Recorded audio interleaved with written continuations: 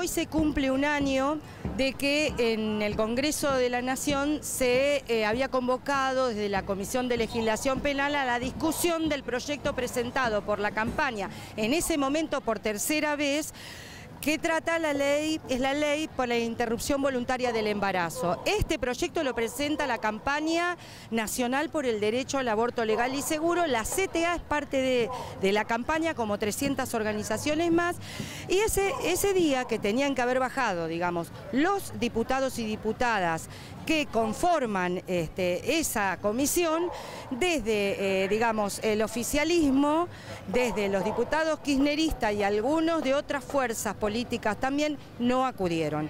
Al no acudir, eso es una clara maniobra de boicotearlo y entonces ese proyecto termina perdiendo estado parlamentario. Por cuarta vez la campaña lo presenta.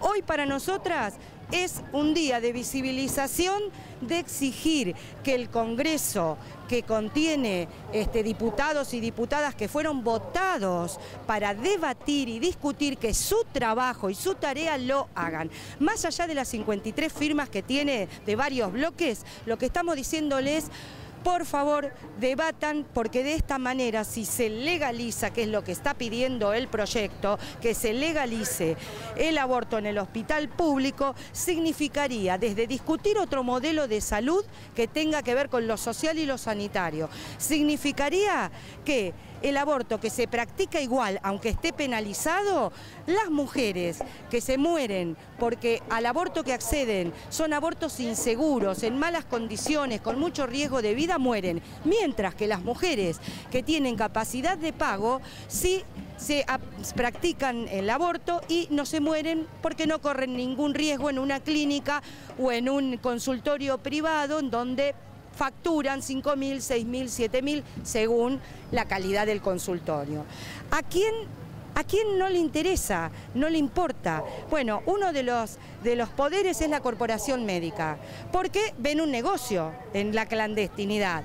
Otro poder que está enquistado en el Estado y que por más que nuestra Constitución dice separación de la Iglesia del Estado, es la Iglesia, que también ejerce su presión, no entendiendo que lo que nosotras queremos no es hacer del aborto un deporte. Lo que estamos planteando es que si no se legaliza se van a seguir muriendo mujeres pobres y este, el aborto se practica igual, aunque la iglesia no lo quiera reconocer.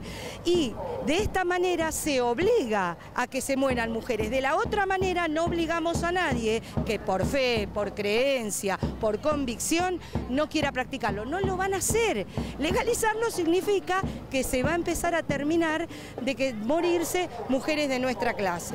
Respetamos la posición ideológica de creencia del Ejecutivo Nacional. Estoy hablando de la Presidenta.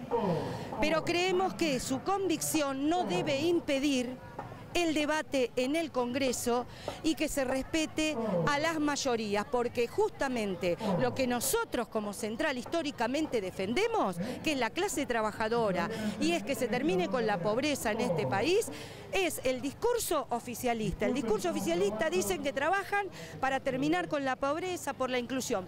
Bueno, le pedimos que por favor se informe, se informe, vea las estadísticas de mujeres que mueren, que mueren, que parecieran ser las mismas mujeres que el gobierno dice estar incluyendo. Entonces, lo que queremos expresar es esto, y es un día de lucha.